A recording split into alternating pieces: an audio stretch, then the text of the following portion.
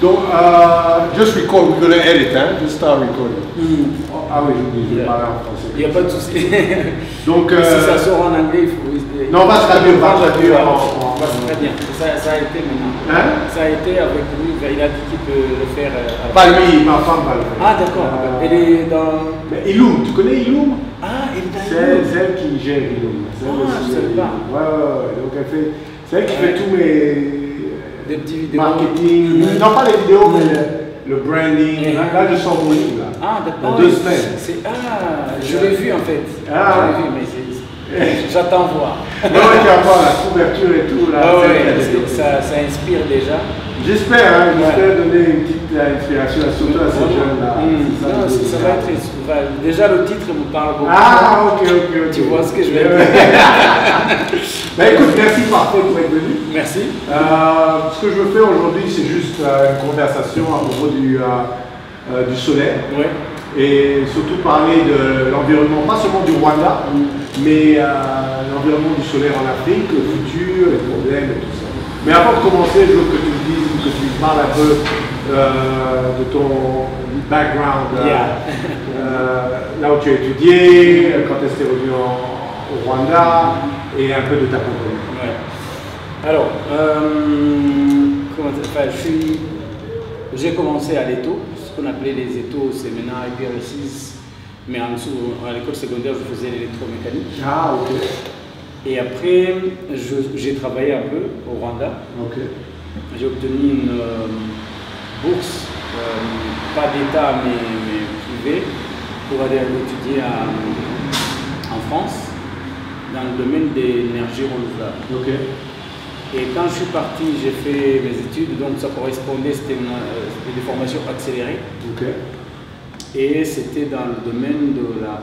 euh, le titre c'était Maîtrise de l'énergie, énergie renouvelable, éco-construction. On a fait ça, et euh, après j'ai tout de suite eu du travail parce que c'était en plein boom de solaire. Et quand on terminait les stages, souvent on était pris par euh, les entreprises. Et en travaillant, j'ai fait d'autres formations à côté qui combinent pour être expert en solaire, et solaire thermique et photovoltaïque. Et euh, après quelques années, j'ai fait aussi un complément en- qui équivalent à un master hein, en, en performance énergétique des bâtiments et Ok. solaire actif. Donc quand je parle de mon titre, Ouais, ça ouais. fait gros, mais... Donc, tu vrai as que ça enchaîné euh, l'université, le master, Ouais, ouais, ouais. tout ça. Tout ça en même Ça t'a pris combien de temps? Ah oui, bah, ça m'a pas pris beaucoup de temps, c'est ça qui est bien avec euh, les, les formations euh, euh, comment dire, en, en- en Europe. Oh non, ok. Ça m'a pris, euh, enfin, c'était depuis 2006 et 2011, c'est là où j'ai terminé. Mais entre-temps, je travaillais en fait. Je faisais une sorte d'alternance et je formais en même temps, donc j'avais tout. euh, je cumulais l'expérience travail et l'expérience, euh, enfin, les, les cours aussi, je les prenais en fait. Ah, donc tu travaillais et tu étudiais en même temps. Ah, En même temps, ouais, c'était très très bien. Ah.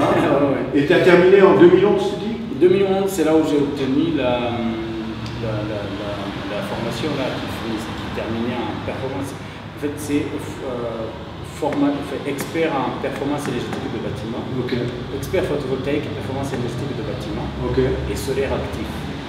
Et donc, c'est là où c'est hyper bien. Et c'est le futur en plus. Hein. Bah ouais, ouais, futur, carrément, euh, carrément. Mais euh, bien sûr, moi et toi, on a eu plein de conversations euh, sur euh, le, le solaire en Afrique, les compagnies qui dominent, euh, quels sont ces problèmes. Et parfois, moi, je partage, mais bon, moi, je suis pas ingénieur. Et T'es très bien. J'ai suivi de, tes vidéos, je tweete des fois. mais Merci beaucoup, merci. Mais je voulais t'amener, je voulais amener quelqu'un qui a l'expertise, qui comprend le domaine beaucoup plus en détail, euh, qui donne aussi sa vision. Euh, et je vais d'abord te demander, qu'est-ce que tu vois sur l'économie Maintenant, tu es revenu en quelle année? Euh, Euh, 2014. 2014, donc ça fait déjà 4 ans, Mm. quatre ans euh, tu, es, Oui, tu es- carrément. tu es déjà ici. Mm. Donc tu, as, tu connais maintenant, tu as vu l'écosystème Mhm. euh, du solaire euh, en Afrique. Mhm. Quels sont les problèmes que tu vois, surtout avec ces compagnies de, on appelle le home sur le système Mhm. Quels sont les problèmes Quels sont les avantages? Parce que j'ai pas envie juste de leur dire qu'ils sont pas bons ou ils sont mauvais. Quels sont les problèmes, les avantages? Mhm. Qu'est-ce que tu penses? Comment ils peuvent améliorer leur structure? Euh, parce que c'est très bien qu'il ne gagne pas d'argent et il lève beaucoup d'argent. Et comment tu vois le jeune Africain qui veut rentrer dans ce domaine? Mm-hmm. Quelle est ta vision de comment ils peuvent rentrer dans ce domaine?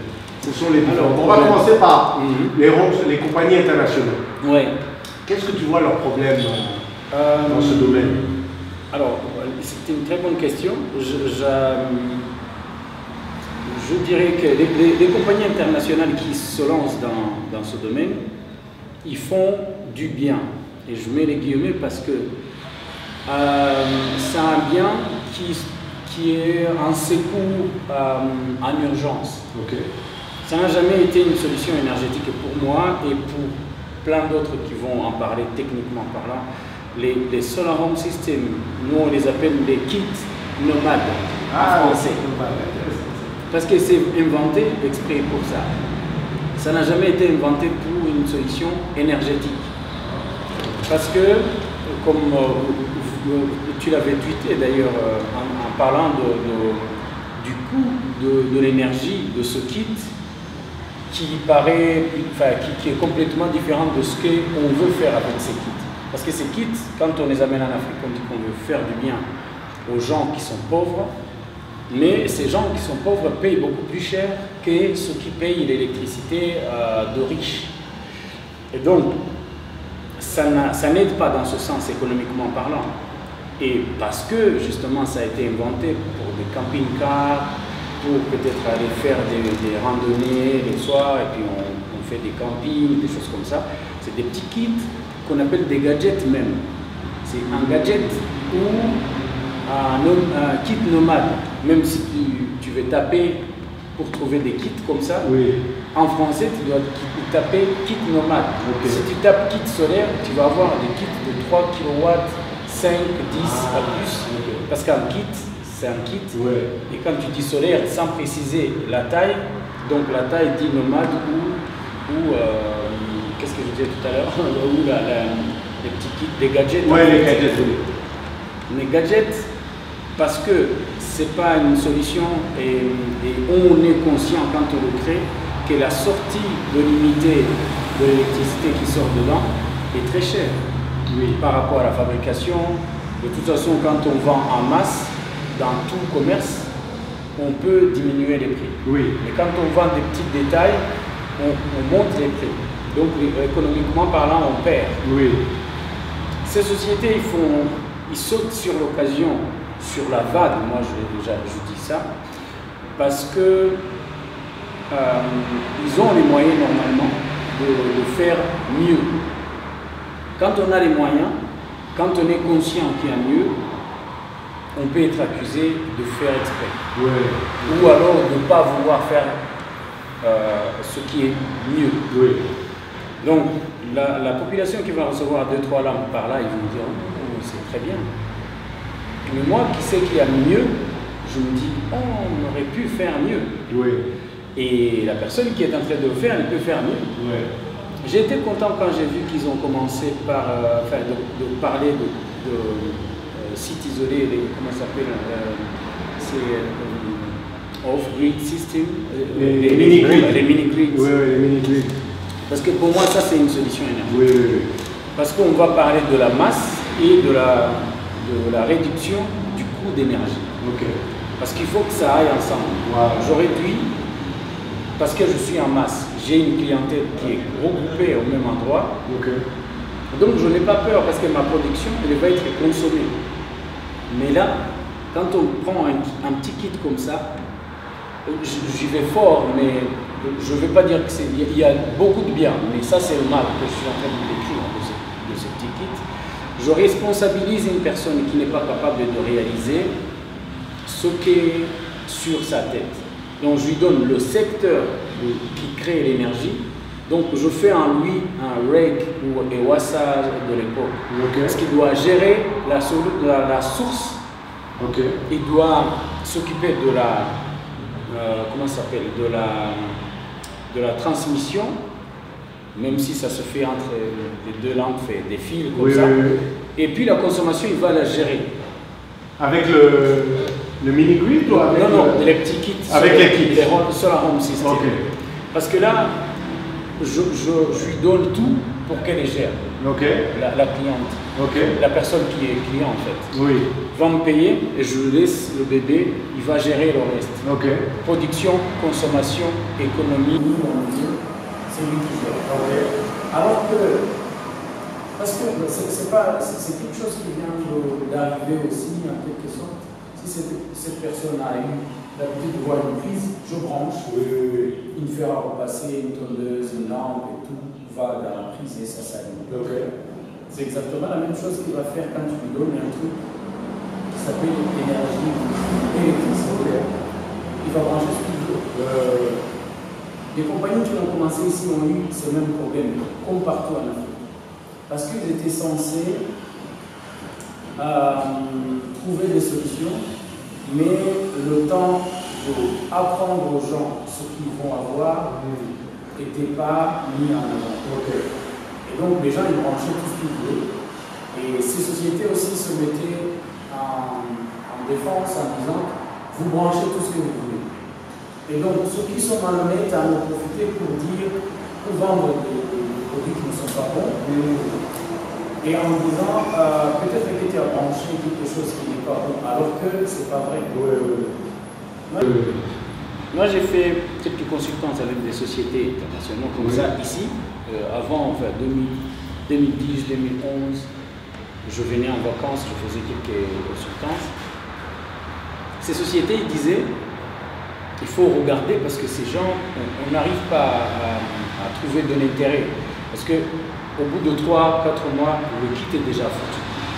Ah, Et pourquoi? Parce qu'ils branchent beaucoup plus de choses, mais aussi parce que les kits n'étaient pas bien, n'étaient pas encore, encore euh, au point en fait. Les standards existaient déjà, mais les gens qui veulent vendre à la masse, ils vont chercher le dernier de modèle le, le, moins coûtant ah, pour le vendre au même prix et puis ah. espérer de gagner de l'argent. Je vois. Donc voilà, en, gros, sans retarder, euh, comment dire, sans m'étaler trop sur la question, le problème de, ces kits est basé sur l'économie et puis est basé aussi sur la volonté des conscients. Et les conscients, c'est les vendeurs, en fait, les sociétés qui, vendent ça, et aussi les responsables de, ce genre de, promotion les départements qui sont en charge de ça, l'État, des choses comme ça. C'est intéressant ce que tu dis. ça a commencé comme un gadget, mm. un gadget pour euh, une classe moyenne, quoi, parce que je suis sûr que c'est pas le gars de la campagne qui a fait le camping, la campagne a fait le camping. et, et, je ne sais pas si tu sais, moi je ne sais pas, mais comment ça a été, c'est venu d'une gadget mm-hmm. à un produit, qui, qui, a commencé ce genre de kit solaire? Euh, est-ce que tu as une idée? Moi, je ne sais pas. J'ai pas fait la recherche. J'ai pas fait euh, trop de recherches, mais je, je sais que c'était des appels d'offres qui ont été faits par la Banque mondiale.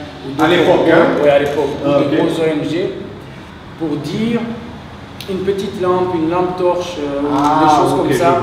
Ça peut aider dans la forêt, la nuit, quand on sort de, de je sais pas où. Oui, oui, oui. et puis, euh, si tu donnes une lampe torche qui fonctionne au solaire à quelqu'un de la campagne, même de la ville ici, il va être content parce qu'il n'a pas à mettre les piles tout le temps comme il faisait. Hmm. Mais ça ne veut pas dire que tu, tu solutionnes son problème. Je vois. Parce qu'on voit tous, on a tous le même intérêt. S'il n'y a pas de courant ici, on n'aurait pas la caméra ou on n'aurait pas l'ordinateur qui fonctionne. Et là, on est stack. On va tout de suite appeler maintenant les règles, mais qu'est-ce que vous êtes en train de faire, des choses comme ça. Et on ne se rend pas compte de la personne qui est à Kiangougou ou je sais pas où, dans, des, milieux éloignés. Et euh, il a les mêmes besoins que nous. Peut-être pas forcément par l'ordi, mais autre chose, au moins la lumière. Et même il a le droit d'avoir les mêmes les mêmes affaires, parce que c'est dans le pays, c'est pas la capitale qui doit vivre et le reste doit suivre, c'est aussi, on vit tous. Et donc, ces mêmes personnes doivent avoir bénéficié les mêmes choses que nous, si on veut partir avec dans le développement ou dans l'avenir qui est euh, meilleur. Comment on se tire, euh, ça va loin. Ouais, ouais, ça devient un problème. Non, c'est intéressant. Donc, Je sais que ça a évolué d'une lampe solaire. Au début, c'était les lampes solaires qui étaient très populaires. Maintenant, on arrive au kit. Euh, mini grid, maintenant, ça devient aussi euh, quelque chose. Mais euh, qu'est-ce que ces compagnies peuvent faire pour s'améliorer? Après toi, comme tu étais consultant avec eux, tu as vu un peu leur système. je sais que beaucoup de compagnies, quand tu arrives à un certain niveau, tu deviens têtu, tu deviens une grosse machine. Mais, mais, mais quels, sont tes, conseils. Que tu conseillerais une compagnie qui fait ses kits solaires mm. Quels seraient tes conseils Là, enfin, quand tu dis que ces, compagnies, quand ils deviennent peu importants, ils deviennent têtus, c'est important. Je, vais rebondir sur ça avant de répondre à la question parce que j'en ai rencontré quelques-uns avec qui on, aurait pu travailler. Ils m'ont dit, mais euh, pourquoi tu ne travailles pas avec nous? Je dis, bah, je suis ouvert au travail ensemble parce que c'est que comme ça qu'on peut avancer. Ils me disent, tu as des compétences qui sont intéressantes donc on peut travailler ensemble. Je, ils m'appellent pour un, poste et après ils me disent donc au niveau compétences on est très content. Euh, et je dis ok, c'est très bien. Et quel est le, problème? Maintenant Ils me disent mais si tu as des questions maintenant à poser, je pose. Cette grosse compagnie, et, et là, elle vend des kits, des petits kits nomades dont on parlait, qui vont bien, qui tiennent la route, mais ils commençaient à avoir des soucis. Quand je suis entré chez eux, je voyais la courbe de production ou de vente qui n'était pas à moitié alors que c'était la fin de la journée. Je demande, est-ce que la courbe elle est là juste euh, depuis quand? Donc ils, m'ont dit, ça fait plusieurs mois qu'on n'arrive même pas à moitié de l'espérance de ce qu'on peut vendre par jour. Donc les, les objectifs, on ne les atteint même pas à moitié. Je dis, vous m'appelez pour la direction de stratégie et d'opération. Et je dois alors vous dire que si vous voulez deux mois pour redresser la barre, je ne pourrai pas. Parce que la question qui se pose, c'est est-ce que vous êtes, j'avais posé la question avant, est-ce que vous êtes capable, enfin, vous voulez changer ou euh, vous êtes allé sur euh, d'autres choses euh, dans le solaire, le solaire, faire pompage solaire, solaire thermique, des gros kits, des lampes, euh, des lampes LED, des diversifiés. Ils m'ont dit, euh, oui, pourquoi pas, mais non, en fait, on a déjà beaucoup de travail avec ça. On ne veut pas le faire. Je dis, oui, c'est très bien, mais moi, si vous me dites, je, suis honnête avec mon travail, je sais que ce que je, vais faire, c'est ce qui va me payer, et donc je sais que je ne pourrai pas le faire. Et pas parce que je ne suis pas capable, mais parce que vous ne voulez pas voir la vérité en face. Ils me disent comment tu peux nous parler comme ça avec quelqu'un entretien. Je dis je suis en entretien, mais je ne vais pas mentir parce que demain vous allez me dire tu nous as dit que tu vas faire ça. Et donc tu ne l'as pas fait. Et donc moi, parce que je suis conscient de ce qui va arriver, je vois devant, je vais vous le dire. Vous devriez vous diversifier ils me disent, ok, d'accord, on peut se diversifier, mais si on ne veut pas, est-ce que tu travaillerais pour nous? Je dis oui, je, travaillerai pour vous, mais en cherchant du travail après deux ans. Je sais que dans deux ans, je serai parti. ils me regardent, ils disent, celui-là, il est non seulement arrogant, mais ça va pas. J'explique. Je dis, par contre, euh, c'était trois personnes, et une des personnes avait bien compris. Ah, Parce que je lui ai dit, euh, la raison pour laquelle je dis ça, c'est que là, vous n'êtes même pas à moitié, pas parce que vous n'êtes pas bon. Les autres, ils sont aussi bons et ils sont sur le même marché que vous. Et je veux vous poser une question qui va peut-être vous paraître euh, rien, mais en répondant, vous allez avoir la solution pour tout. Et mon raisonnement va être expliqué là-dessus. Je dis, quand est-ce que vous avez vu une personne qui a un kit de chez vous qui est vieux, qui vient en racheter un autre? Ils se regardent, ils disent, hmm, il y en a un qui dit oui, il y en a un, donc il jamais. Je dis oui, je sais que c'est jamais. Parce qu'il n'y aura personne qui va revenir acheter le même kit de trois lampes parce que le premier est terminé. Oui. Non seulement le premier qu'il a acheté ne sera jamais rentabilisé, mais aussi sa vie va évoluer et dans trois ans, la personne ne va pas chercher les mêmes trois lampes. Parce qu'il va se rendre compte que la lumière n'est pas de 3, lampes, de 3 watts à 3 mètres de haut, ça, ça éclaire euh, très peu. Il va se rendre compte qu'entre-temps, il a acheté des lunettes, euh, donc ça coûte un peu plus cher. Donc ça, ça, consomme en fait, quelque part. Et, euh, et, là, ils ont, enfin, une de, de personnes a compris, a dit, ah ouais, je dis donc, si je vends du pain, je dois peut-être faire, si je suis dans un pays de 13 millions, je suis le seul, je fais 13 millions de pain. Si ça ne s'achète pas après. Et je m'arrête, je cherche autre chose à faire. Vous, vous êtes en train de faire le si ce n'est pas le quadruple du nombre de pays de, vos acheteurs, comme si vous attendez qu'ils reviennent pour acheter le même truc. C'est pas possible. Donc c'est euh, c'est pour dire le côté qui est euh, têtu, qui ne veut pas entendre. Mais après trois mois, tous les expats qui, étaient dans la même société partaient. Moi, j'avais donné deux ans, ça n'a pas tenu trois ans. Non, ça n'a pas tenu. Je, me rappelle, il y a un grand. Et c'est partout. Hein. Mm. Mais c'est intéressant ce que tu dis. Euh, en fait, les gens qui achètent un kit, très peu ou presque personne ne rachète un autre kit.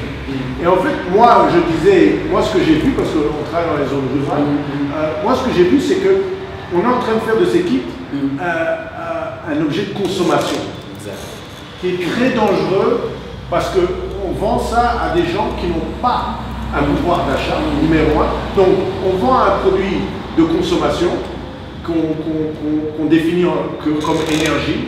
Mm-hmm. On leur donne des crédits à des taux incroyables. Et on le revend à 3 à 4 fois le coût de l'énergie que nous, moi et toi, on paye. Donc en fait, on, handicape ces gens. Complètement. À long terme, euh, on, les handicape. Et, je suis d'accord avec toi, leur modèle ne marche pas. C'est pas que euh, la solution n'est pas là, la solution elle existe, mm. comme tu disais, le mini-grid. Mm. Et, mais ces compagnies sont bornées mm. Dans, ce, dans ce kit solaire et ils ne veulent pas comprendre qu'il doit y avoir une autre solution pour résoudre ce problème à un coût meilleur et une solution qui permet euh, que quelqu'un ajoute euh, un laptop ou un ordinateur ou quelque chose sans affecter le kit. Donc, mais euh, mon autre question est que comment ça se fait que il n'y a personne d'autre qui voit ça. C'est-à-dire, nos gouvernements, nos méga des ça et tout ça. Sauf que comment j'étais à une conférence, ils parlaient beaucoup plus maintenant de mini Mais qu'est-ce qui va faire que les choses changent, d'après toi? C'est quoi qui va pousser pour que ces choses changent un peu plus vite? C'est euh, les, gens qui sont responsables de choisir l'orientation énergétique qui doivent prendre les choses en main. Je peux comprendre qu'on est dans un milieu qui est assez sensible, qui on n'a pas le dernier mot, on est souvent c'est en aide. Et ce qui nous aide, ce que, si, on parle au gars de Wassa, ils vont dire, mais quand je demande à la Banque mondiale, il y a des critères à remplir. Ah. Ces critères vont tomber. Euh, les offres que ces sociétés qui se foutent complètement de ce que vous allez avoir vont euh, un peu guider les ONG qui financent pour financer ce genre de choses. C'est tout un système. C'est tout un système qui ne fonctionne pas très bien, mais qui peut être changé très, dans pas une petite décision. Si je décide, là, euh, je suis parmi le board qui, qui décide par exemple qu'est-ce qu'il faut faire pour orienter notre projection sur la, ce que le président par exemple a dit qu'en 2020, on doit avoir un taux de population qui doit avoir euh, de l'énergie, au moins la lumière. On doit atteindre ça. Ça, je suis totalement d'accord avec ça et on peut le faire. Mais il faut le faire en pensant sur la sustainability de ce qu'on est en train de faire. Parce que si c'est juste faire pour atteindre l'objectif à la date et après la date on est foutu, on revient à moins, à moins 2, même pas à 0, c'est hyper dangereux. Et tu as absolument raison. En fait, tous ces, tous ces, ces compagnies internationaux euh, euh, développent des systèmes basés sur les fonds qui existent. C'est-à-dire qu'en fait, c'est pas c'est des solutions basées sur le fonds qui existe sur le terrain. le fonds décide, le fonds dit on veut des kits solaires, Donc la compagnie, les gouvernements disent on, on va chercher des kits solaires et les privés viennent avec des kits solaires. Exact. Ah, ça c'est intéressant. Mm. Et, et je suis tout d'accord, je suis tout à fait d'accord avec toi pour la, euh, la, la- la- la continuité euh, économique Ouais.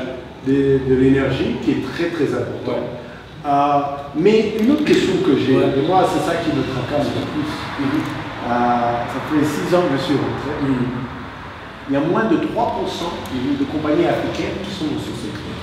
Moins de, de 3%. Oui, c'est Bon à savoir. 3%. Ça, donc, Qui sont, quand je dis africains, Mm. ce sont des Africains Mm. qui ont commencé une compagnie euh, de kit ou de microgrid qui sont africains, qui sont gérés par des Africains. Donc, je ne te parle pas d'une filiale qui est enregistrée en Afrique, mais qui a un groupe en Europe, aux États-Unis, ça. Il y en a beaucoup. Mais des Africains qui gèrent euh, euh, une compagnie euh, de microgrid et tout ça, il n'y a que 3%. Mm. Euh, et je crois que c'est moi, pour moi personnellement, parce que j'en Ouais. connais qu'un. Ouais, ouais. Connais qu'un. Mais comment ça se fait que cette, cette révolution énergétique, si on peut l'appeler comme ça, il y, a, il y a- il y a moins de 3% d'Africains dans ce domaine.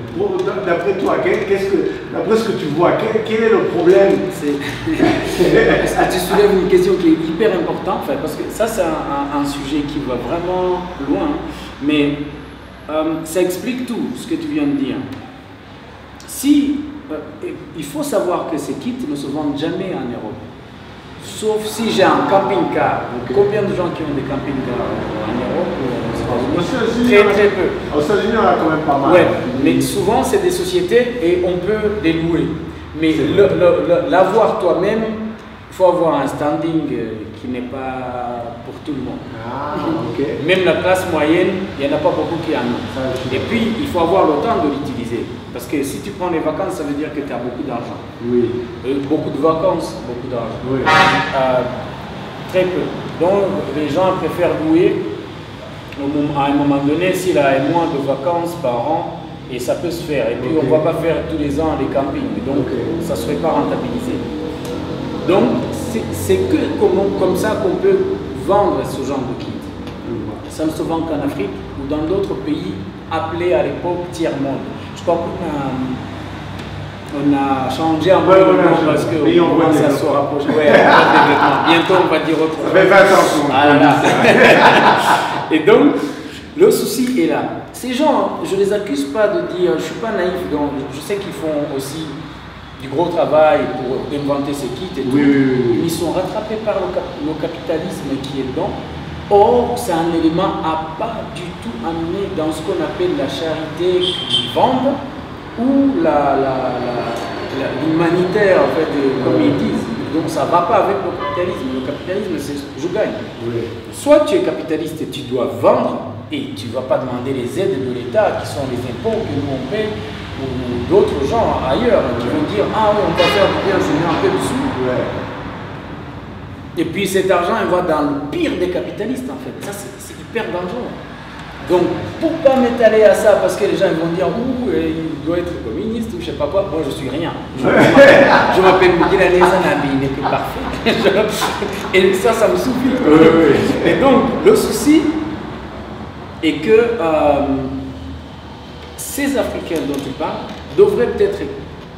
Quand tu es touché, tu solutionnes la chose plus.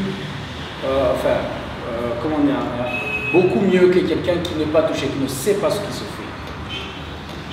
Donc, les Africains devraient prendre le devant et essayer de faire ce genre de choses. Mais comment? Parce que ça fait quelques années que j'essaie de faire, je ne peux pas faire ce que ceux qui viennent demain vont faire. Oui, parce oui. qu'ils sont déjà avec le capital qui va bien et tout. Et pour remplir les, les- les critères, sais ce que ça fait. On a eu d'ailleurs euh, beaucoup d'expérience ensemble Oui. sur des, des- des projets qui finançaient ce qu'on fait, qui faisaient différemment que moi. Et quand j'y allais, on me disait qu'on peut financer ce que toi tu fais, et toi tu y allais, on me disait c'est plutôt, plutôt ce que Parfait fait qu'on peut financer. Et jamais ça a été le cas en fait. Euh, pour euh, répondre à cette question, les sociétés qui le font, ils, amènent en fait une solution. C'est eux, à la limite, qui proposent une solution aux bailleurs de fonds qui va dire à ceux qui vont financer, donc les ministères ici et autres, euh, vous pourrez peut-être avoir de l'argent parce qu'on a des fonds à, vous donner. Est-ce que vous ne pouvez pas orienter ça en énergie et tout machin? Ils vont dire oui, mais... Euh, et puis là, on oriente déjà le, truc parce que nos gars, les sociétés euh, internationales là, qui sont forts, ont déjà fait leur gadget à vendre. Ah. Et donc les gens, bah, on ne va pas chercher des solutions parce qu'il en existe déjà. Oui. Puisque la personne à qui on va donner est déjà en position de faiblesse, elle ne va pas dire, bah, elle va dire, euh, si tu les demandes de nos gars, là, ils vont dire, mais attends, on nous a donné déjà un kit. Et on ne va pas dire, non, pas celui-là, je fais ça. on te donne déjà. Mais on ne te donne pas totalement. Parce que si tu es capable, ce que moi je pense serait la solution, c'est que nos gars, nos responsables, se mettent vraiment euh, dans un travail euh, sur le long terme en disant on a appris des choses, on doit maintenant se préparer intensement pour anticiper le don qui va venir peut-être dans 5-10 ans. Parce que quand ils vont nous dire on a des fonds, on peut vous financer, on va dire nous on sait ce qu'on va faire, c'est ça. Et quand ils vont te proposer mais il y a ça qui existe, tu vas dire non, ça, ça solutionne ça et ça, mais pas ça. Mais ce que je vous dis de financer, ça va solutionner les trois ou les quatre trucs. Donc il faut être assez euh, futé pour dire je connais les technologies qui existent et je sais ce qu'il me faut pour répondre à ma demande.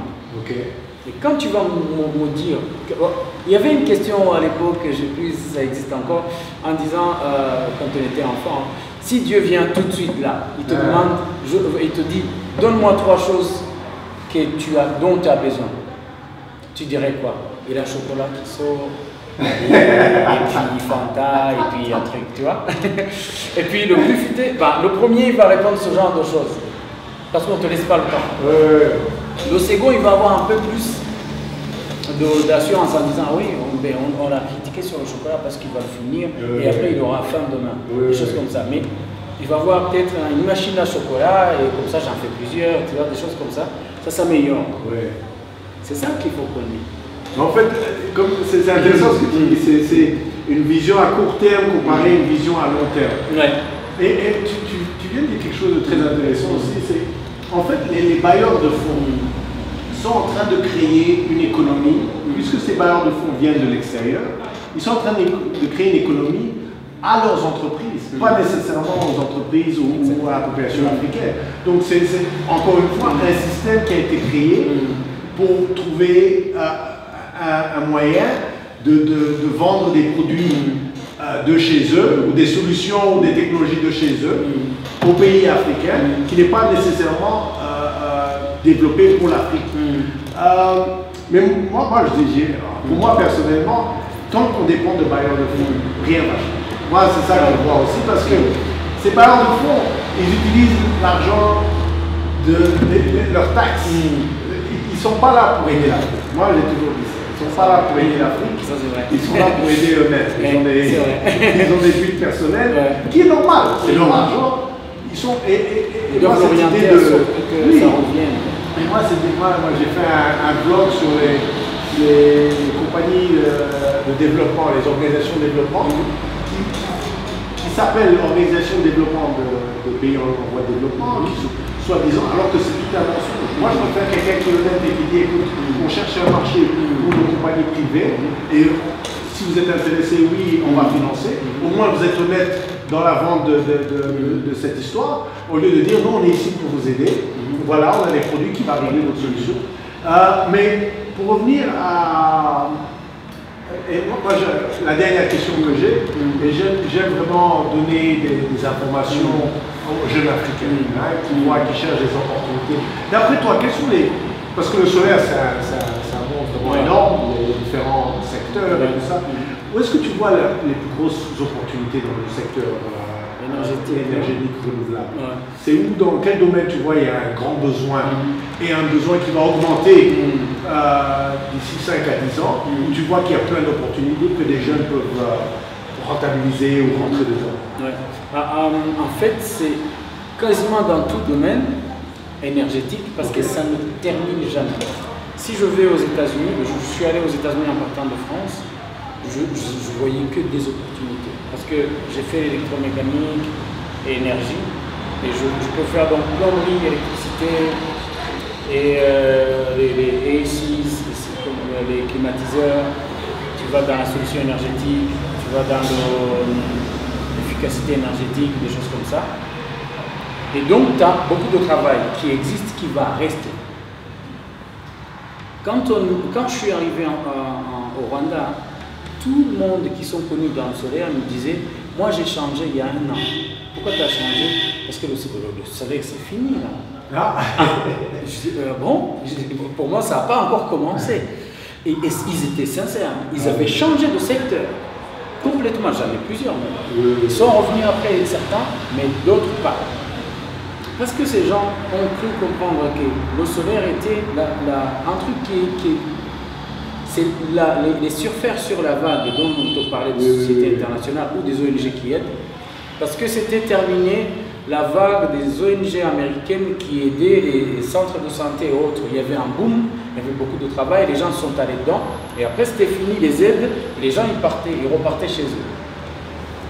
Comme les sociétés appelées solaires de par ONG internationales étaient reparties chez eux, et donc le solaire était devenu par rapport à ce que les gens disaient. Et donc j'ai dit non. Et euh, à l'époque, il n'y avait que 100 chauffe-eau solaires qui étaient installés sur les maisons. C'était le projet euh, pilote. Et les gens disaient non, c'est fini. Qu'est-ce qui se passe dans cette tête? Et là, j'ai compris qu'il faut que les gens arrêtent de penser un business comme le gros parce qu'on a aussi cette habitude à part africaine de ne pas penser comment demain ça va être. Un plombier, on, on, vient juste de commencer, les AIPRC, ça c'est une solution très bien. Et même on commence euh, à demander, mais ces gens qui sont des IPRC, qu'est-ce qu'ils vont faire? Ils vont faire tout ce qui est là. On a beaucoup de bâtiments, on a de l'électricité, de la plomberie, et c'est un gros problème dans le bâtiment. Et ça, ça existe et ça va continuer à exister.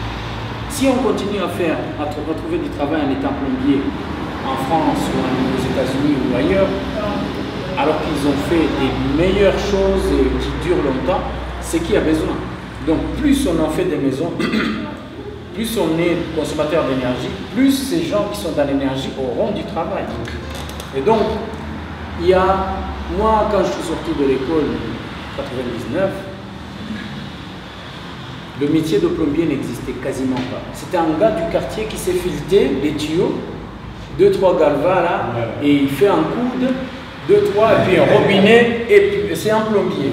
Appelez-moi le plombier, le plombier est arrivé, il fait un robinet. En fait, un, assembleur de tuyaux était un plombier. Maintenant, on est dans, la, dans les calculs. Euh, on va, on va parler de, du fluide, comment ça va se passer, de pompes qui vont aller dedans, de nombre de, de consommateurs, puis optimiser les choses. Et donc ça devient un métier. Combien de plombiers de métiers qu'on a qui comprennent tout l'affaire? Il y en a très peu. Mais ça sort de l'école maintenant. Et ça devient un métier. L'électricité, ça devient un métier. Chauffe-eau solaire, ça devient un métier qui va se détacher de la plomberie? Maintenant, on dit, ah, mon plombier va m'en mettre. De toute façon, c'est un truc qu'on met là-dessus. Ah ben ouais. Mais après, on va comprendre ce c'est pas le mettre que là-dessus, parce qu'il y a la charpente. Et il faut peut-être faire gaffe à ça. Donc le charpentier va jouer là-dedans. Et puisqu'il aura du travail, il ne va pas mettre la main dedans. Donc il y aura quelqu'un qui va s'occuper de ces petites choses qui sont à côté, qui va être dans le solaire thermique.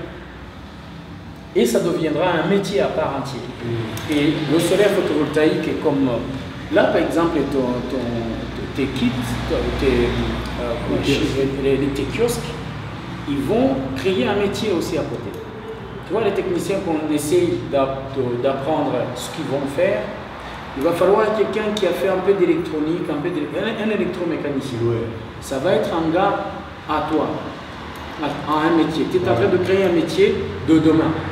Et ce métier va être un gars qui fait de kiosques euh, de, chez toi. Il va être spécialisé à la marque. S'il y a une marque autre qui va venir, il va être bien, mais il y aura des différences. Il va peut-être euh, s'adapter à la différence, mais être dans, dans, ce truc. Puisque j'ai vu que tu as mis des Wi-Fi, il, y a, il faut comprendre ce genre de choses. Et s'il y a une coupure, qu'est-ce qui va se faire? Il faut qu'il ait une formation sur ça qu'il ait une petite formation sur la, mécanique parce qu'il y a des choses à bouger et je le place où? Parce qu'il y a du vent, je le place où? Euh, Parce qu'il y a des gens qui peuvent le faire, bouger. C'est quoi le panneau solaire qui est dessus? Comment est la transmission? Ma batterie qui est dedans, elle réagit comment? Si je mets un soleil qui est trop tapant, ça va me réduire la production et les méprises sont cassées, comment je peux soulever ça? Donc tu vois, le gars, comme les gars qui font des radios là, des choses comme ça, ils sont très bien pour ça. Mais ça devient un métier, puisque ça va durer longtemps. Et celui qui va faire des photovoltaïques comme euh, sur des maisons ou des centrales comme ceux qui sont à, à Guamagana là-bas, ça devient un métier à part aussi. Euh, le plombier qui va déboucher les toilettes ou les, des choses comme ça, c'est un métier. Donc, les gens, euh, je ne me souviens pas exactement de la question. Mais non, non, la question était, pour te rafraîchir, la question était quelles sont les, les opportunités dans l'énergie renouvelable pour un jeune qui veut commencer Un jeune qui sort de l'université, qui dit Bon, je suis, je suis intéressé, parce que j'en rencontre pas mal, je suis euh, intéressé par l'énergie renouvelable, mm. mais il va dire Bon, je ne peux pas rentrer dans le sur le système parce que c'est pas nécessairement saturé, mais il y a plein de, compagnies dedans. Donc, quelles, quelles, autres opportunités il y a dans ce domaine? Parce que comme tu as dit, il y a beaucoup de gens qui pensent que tout le marché est saturé ou ils voient le solaire en tant que home sur le site, mm. c'est tout. Mm. Ils ne voient pas d'autres opportunités, euh, d'autres technologies, d'autres solutions, mm. d'autres marchés, tout ça. Donc c'était ça. Oui, c'est ça. En fait, en répondant comme ça, c'était pour dire il y a beaucoup de choses qui se créent qui vont devenir un métier petit à petit, qui sont déjà un métier aujourd'hui et qui vont en devenir demain. Et donc, euh, ces jeunes qui sortent de l'école ou qui essayent de, se former dans, un métier, parce que la plus grande partie qui font du solaire aux États-Unis ou en, Europe, c'est des gens qui sortent d'autres secteurs, qui sont mmh. saturés. moi, j'ai formé beaucoup d'informaticiens. J'étais même pas ingénieur à l'époque, et je, formais des ingénieurs qui sont futés, qui ont 10 ans d'expérience, qui venaient sur ma plateforme, on leur montre ce qu'il faut faire et tout machin. Ils sortent de l'école, ils sortent du, métier, pardon, du métier qui est saturé maintenant. Un informaticien en Europe, il trouve pas. il y a très peu, et c'est hyper usant. Ah. Et donc quand tu fais 10 ans, tu as tout donné tu veux que faire autre chose. Ah que faire autre chose. Ah, donc ils changent. Ils changent complètement. Les jeunes qui s'amusent avec, ils vont euh, tout de suite sortir de l'école, ils vont faire des choses. Et c'est bien, parce que lui, il a de l'énergie à dépenser. Mais après 10 ans, il va revenir hein, sur le... Donc j'en ai eu plein. Ah, Ce qui veut dire que ici, euh, on a ces opportunités qui existent. On n'a pas encore des métiers d'ailleurs qui sont saturés parce qu'on entre dedans. Donc demain, ça va être fait. Les jours seront meilleurs. Ça, c'est sûr. Au niveau du métier, il faut apprendre un métier. Il y a un, futur, il y a un futur très positif. Ah, Et enfin, moi, je suis partenaire avec euh, les IPRSs. Je, faisais une conférence chez eux récemment en disant, ils me disaient, mais qu'est-ce que je vais faire? Non, on va au chômage et tout machin. Je dis, non, jamais tu sais faire ceci, cela, machin chose, va te rendre hein, et tu vas avoir des, choses à faire.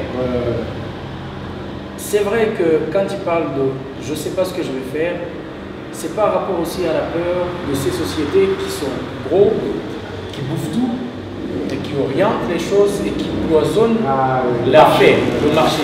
Et du coup, on n'est plus dans le la possibilité d'avoir ce genre de travail. Et, ceux qui le font à côté aussi le font mal parce qu'il n'y a pas un suivi. Moi, je pense que euh, l'avenir de ce genre de métier est là. Là. On n'est même pas à 1% de ce qui va se faire dans 5-10 ans. Même pas 1%. Parce qu'on aura. Là, si vous avez un souci de plomberie d'électricité, vous allez avoir besoin d'un électricien. Je vais faire un SOS plomberie, électricité 24 heures sur 24, je sais que j'aurai beaucoup de monde. Un, des, tu as totalement raison. on va finir avec ça. Un des domaines qui, qui m'intéresse beaucoup ces temps-ci, c'est euh, on appelle ça en français, euh, je ne vais pas dire les maisons renouvelables, les, les maisons qui sont euh, indépendantes du système électrique, du système d'eau urbaine, qui sont totalement indépendants énergétiquement et, et, en plus les, les préfabs qui sont, qui sont en train de monter, parce que le ciment aussi ça, ça cause beaucoup d'effets de, de, de, serre, un réchauffement climatique. Euh, mais une, des, des, la plupart des solutions que je vois, parce que la plupart des solutions énergétiques que je vois sont surtout pour les, zones ruraux. Ouais. Euh, mais qu'est-ce que tu penses des opportunités dans les zones urbaines pour l'énergie renouvelable? Est-ce que tu penses qu'il y, a un marché pour ça? Ouais. Euh, et aussi, quel serait le modèle qui marcherait pour les zones urbaines? Le, modèle qui marche, il va, il va très bien avec le modèle que le gouvernement a choisi, par exemple, le gouvernement rwandais. Là, Même si on parle pour euh, l'Afrique, et je pense que les autres copient ça. Les Moudouboudou, c'est les lotissements qu'on fait, les maisons qui sont regroupées. Oui. Ça, c'est la base de dire on, réduit les, comment dire, les, impacts, les, les, coûts de l'infrastructure. Parce que tout est regroupé on peut solutionner les choses de manière simple. Absolument. Et donc, comme ils ont choisi ça, les, lotissements là, c'est euh, une chose qui va très bien avec les solutions de mini-grid. Ah, Les mini-grids, ils vont très bien parce que si on les étale, si on optimise la consommation, la production, et on réfléchit à une solution en fonction des besoins qui sont là, et le pouvoir d'achat des populations qui habitent les Umudugudu là, on est, euh, on est très bien. Parce que non seulement le gars qui va mettre son, sa, son kit, son mini-grid, va avoir son pognon, parce que les clients sont là, mais les clients aussi seront assurés d'avoir de l'énergie tout le temps. Parce que vous me payez et je peux refaire la chose. Je gagne de l'argent, mais je peux refaire la chose. Ça va durer. Même mon fils va peut-être être propriétaire de secteur. C'est ça, cette écriture qui va, de toute façon, on aura toujours besoin d'énergie. Et donc, les, les, les zones rurales, ils vont faire des mini on en a fait déjà. Et donc, les mini peuvent répondre à ce genre de choses. J'avais eu un CSB à l'époque, quand le président est arrivé en France la première fois. Donc, il était accompagné par un secteur ici. La CSB nous disait, quand la nous disait, des fois on n'arrive pas à mettre un milieu qui est éloigné parce qu'il n'y a pas d'électricité qui arrive. Moi j'ai une solution. Faites-le tout comme vous voulez. Je vous mets un mini derrière, je vous fais un pompage de l'eau parce que la nappe phréatique, il faut savoir, qui est vraiment plus d'eau, c'est l'Afrique. Ah bon On a beaucoup plus d'eau que tous les, continents. Et même, c'est tout l'inverse. Les États-Unis sont les derniers parce qu'ils consomment beaucoup. Après, c'est l'Europe. Après, c'est l'Asie. Et les premiers, c'est nous.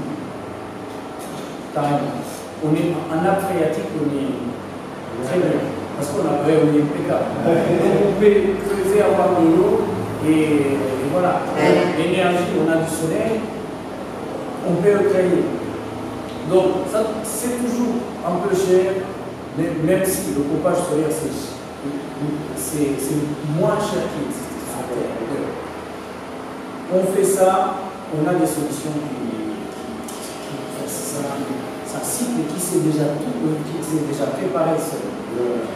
Et donc, si je peux pomper de l'eau avec du solaire, je mets des panneaux pour la lumière, je fais chauffer de l'eau avec du solaire, et là on est dans, luxe. L'économie circulaire. Oui, très bien. Après, je fais une station d'épuration qui va traiter l'eau, la ramener, comme ça je consomme moins de ma nappe phréatique, et je recycle mon eau.